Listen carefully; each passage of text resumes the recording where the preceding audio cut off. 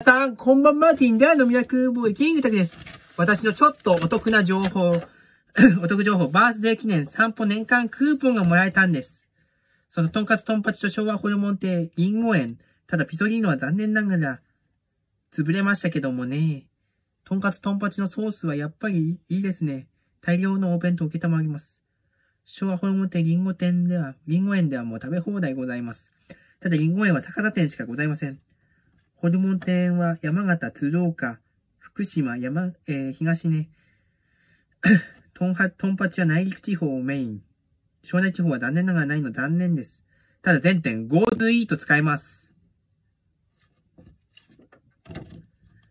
まあ、200円券ですけどもね。